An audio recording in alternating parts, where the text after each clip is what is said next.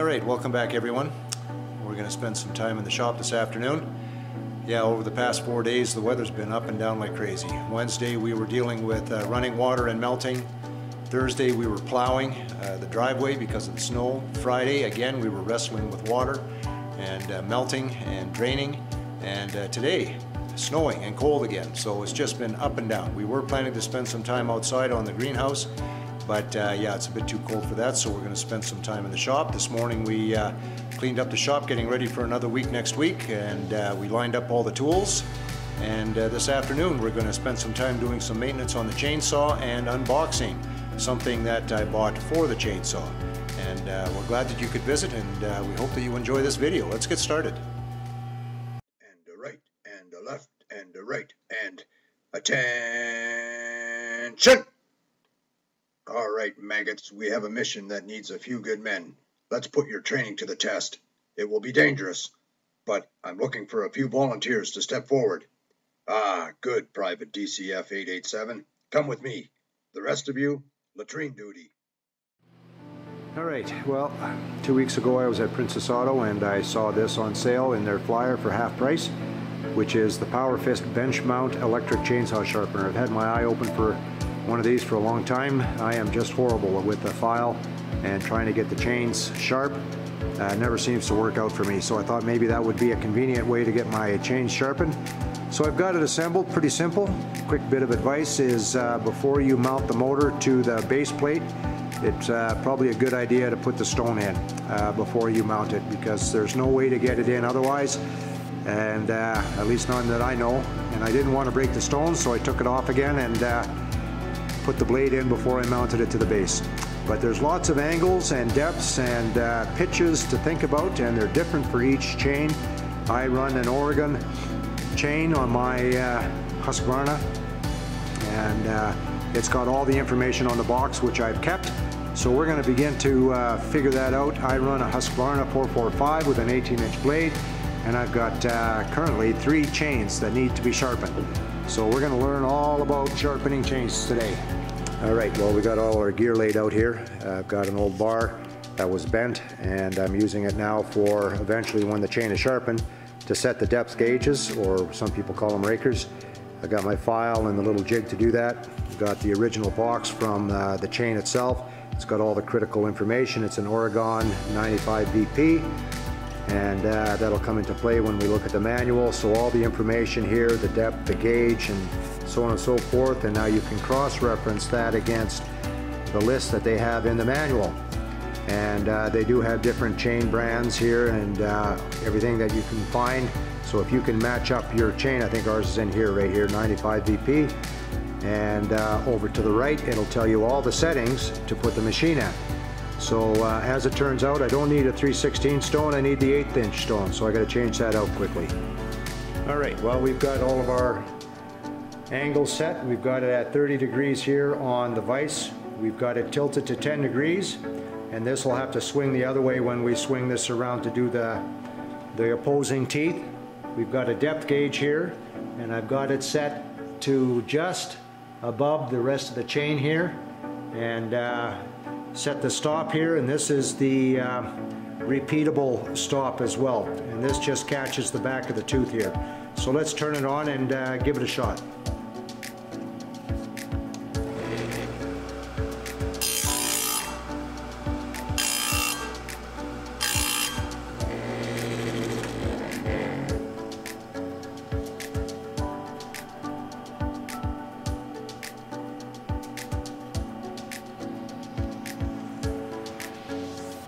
Certainly feels sharp. Yeah, it's catching my fingernail pretty good there. So uh, what I'm going to do is uh, mark this with a black felt marker so we know that's the first tooth.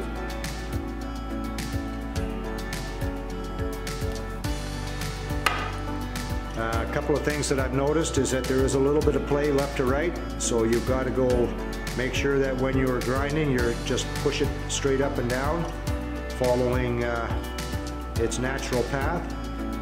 And uh, this chain here, you have to make sure that this is firmly in place. It sometimes grabs the other links and doesn't grab this and this can go loose. So you have to make sure. So let's move it to the next tooth and try it. So we unloosen it, we pull it two tooth, two teeth,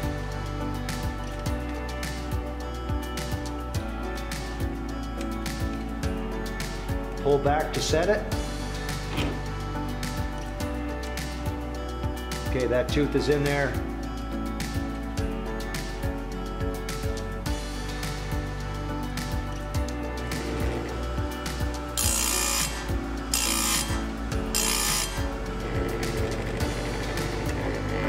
It's as simple as that.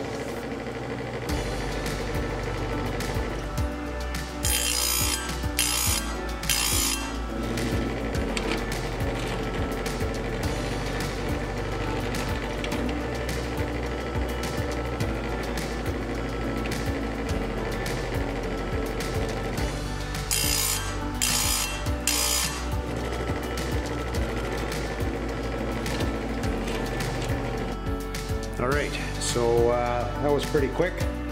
Uh, so we have a uh, 72 tooth, so that's uh, 36 that I did there, and that goes pretty quick. And uh, so now we have to change the angle to do the opposing grind, and uh, so we'll loosen this off. We'll switch this to 30 degrees the other way.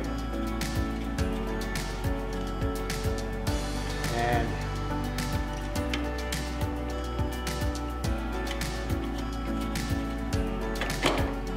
and the 10 degrees the other way.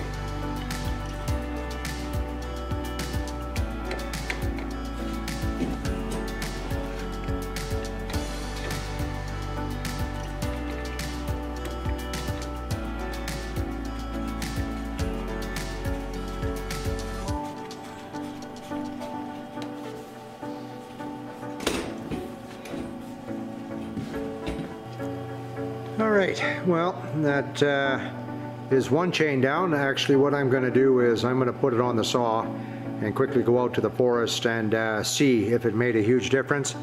Uh, overall impressions, yeah, not too bad. It certainly is a quick way to sharpen your uh, chain.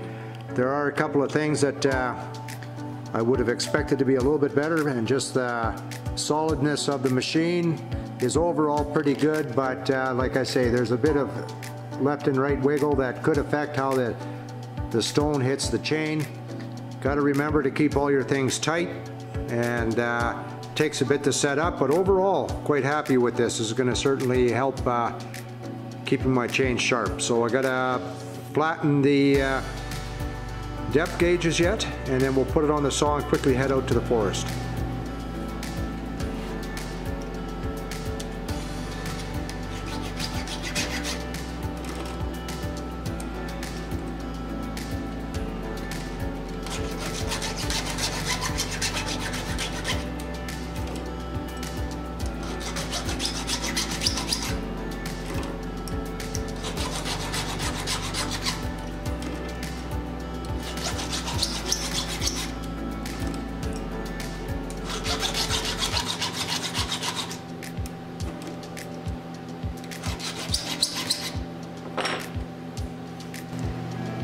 Right, well, that's one chain down, two to go. Overall impressions are uh, pretty good on the machine. uh, certainly going to speed up chain sharpening, that's for sure. A couple of things that uh, I would have thought would have been a bit better, but uh, uh, you can work around it, is this unit here has a little bit of left and right play, which will affect how you grind your tooth. Uh, you got to be a little bit careful on uh, bringing the tooth or the grindstone down to the tooth so that it comes in straight down and uh, there seems to be a little bit of run out on the spindle itself. I tried to adjust the stone as best as possible but uh, seems to be run out on the spindle. So that could be a bit better but uh, overall I think it uh, works pretty nice and uh, quite happy with the purchase. Alright, well the unit comes with some extra pieces here. Uh, two extra stones, one is a quarter inch, one is 3 sixteenths. We had to change out the 3 sixteenths to the 1 8 which is in the machine right now, which is what the manual called for for the type of chain that I have. Two Allen keys, one for the arbor, one for the shield, and a dressing stone for when the stone wears out you can dress your stone uh, up a bit so that you can keep on using it, and a measuring gauge. Uh, don't know what that's for, there's no mention of it in the manual, so uh, yeah, we'll have to learn what that's about too. But uh, those are the extra items that come with the unit. All right, well that concludes today's video. Uh, we got the Power Fist bench mount uh, electric chainsaw sharpener all up and running. I'm sure there's going to be a learning curve yet with that, but uh, we'll learn as we go. We're going to try out the first chain out in the forest, see if it uh, made any difference at all. And uh, no, overall impressions, uh, quite happy with it. And I got to buy another tool, which is always a nice thing. So we're glad that you could join us and we hope that you enjoyed this video. And if you did, we would love it if you would subscribe, like, and share. And join us again for ongoing videos on the property. Thanks for watching.